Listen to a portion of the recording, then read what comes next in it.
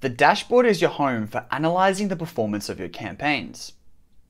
You can review keywords, ads, assets, and everything else by selecting them from the left-hand menu. We'll select keywords as an example.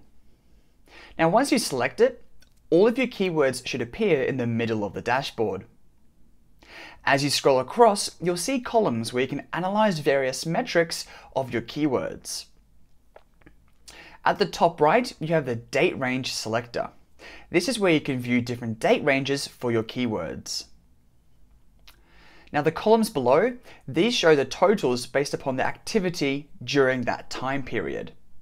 For example, if you were looking at the last seven days and viewing the cost column, you would see how much you spent on your keywords during that seven day period.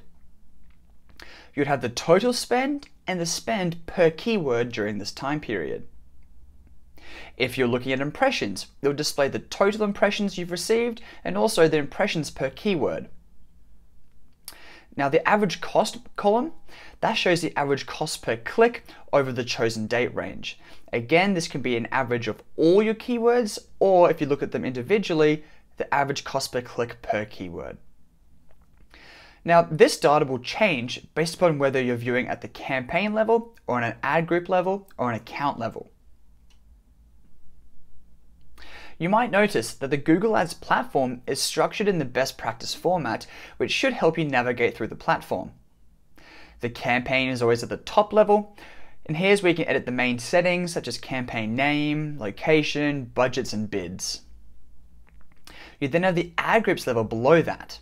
When you click into it, you can see the ads and keywords. So you can activate and pause your campaigns at any time. In the top left, you should see a green or grey button for the campaign you've clicked into. When this is green, the campaign is active, and when it is grey, the campaign is paused. This applies to ad groups and keywords as well. If you go to the ad group level, you can toggle your ad groups on and off at any time by either clicking on the button and changing the status, or selecting multiple options, then clicking edit and then clicking pause. This applies to all other aspects of your campaign. We'll continue to go over the dashboard in more detail throughout the training.